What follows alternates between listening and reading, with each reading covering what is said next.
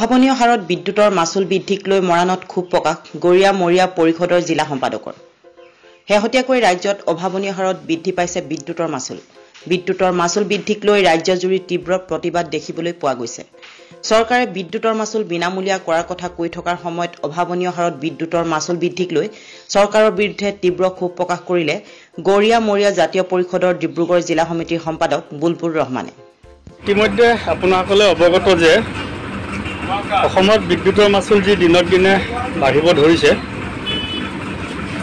অতি দুৰ্ভাগ্যজনক কথা যে আজি আপুনি দিল্লীৰ লগতে অন্য ৰাজ্যত চাওক বিদ্যুতৰ মাচুল সম্পূৰ্ণ ফ্ৰী কিন্তু সমান্তৰালভাৱে আজি অসমত বিদ্যুতৰ মাচুল যিদৰে বাঢ়িছে তাৰ কাৰণে সৰ্বসাধাৰণ ৰাইজ এতিয়া মানে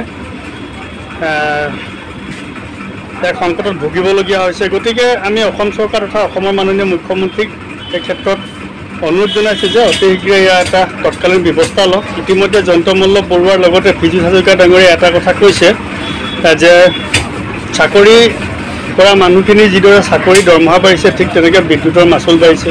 সেইসকলকো আমি অনুৰোধ জনাইছোঁ। অসমৰ ৰাইজৰ ৰাইজক লৈ বিশেষভাৱে এনেকুৱা টুলুঙা মন্তব্য যাতে তেখেতসকলে নিদিয়ক।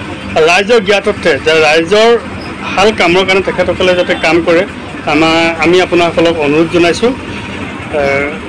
কৰোণা কালৰ পিছৰ পৰাই খাদ্য সামগ্ৰীৰ দামলৈকে বৰ্তমান জোৰ একদম জোৰলা অৱস্থাত ৰাইজ আছে। কিন্তু তাৰ পিছতো যদি আজি বিদ্যুৎ মাচুল এনেকুৱাকৈ বাঢ়িব ধৰিছে মানুহ ভাবিব পৰা নাইকিয়া। গতিকে এই ক্ষেত্ৰত যন্ত্ৰমল্ল বৰুৱাই এটা কথা কৈছে যে তেখেতসকলে গমেই নাপায় বিষয়টোৰ ওপৰত।